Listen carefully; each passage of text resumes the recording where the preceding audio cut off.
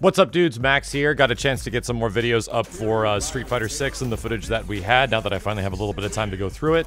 Um, we're trying to get some matches between CPU stuff as well as regular player matches, as far as me just playing other people that were at the event and stuff like that, and that's exactly what this is.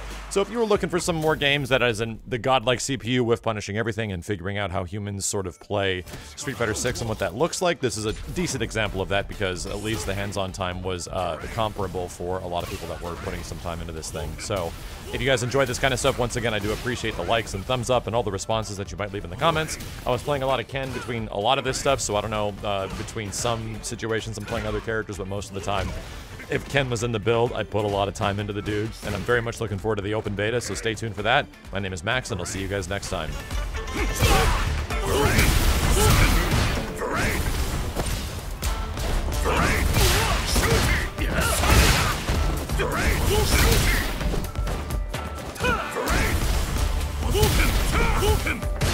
Round